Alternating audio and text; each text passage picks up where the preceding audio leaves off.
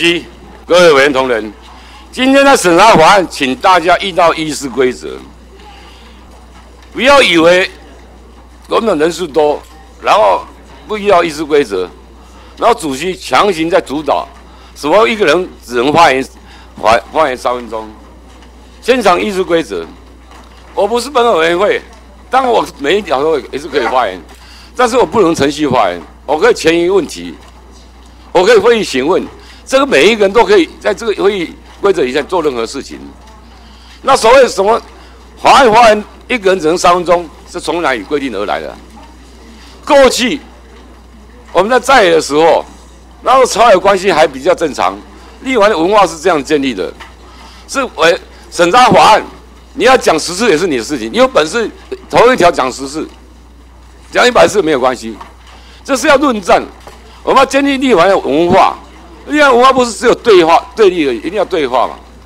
今天走到这个对大对话时代，委员会这次真的是看朝野在这委这法案上的功力是怎么样。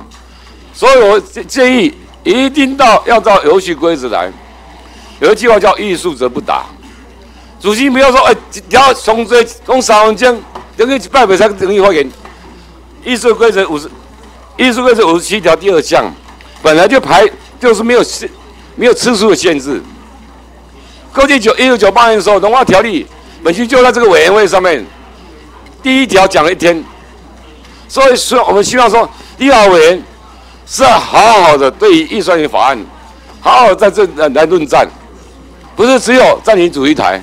不是只有打架而已。所以说，希望说，这委员文的文斗就是文斗嘛，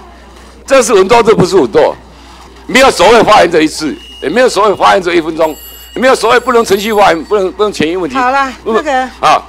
问问会议询问，全部照议事规来，只要不照议事规来，保证这个会议开不下去。那个柯总召，谢谢我想提出这样的这样的恳切跟大家说，拜托，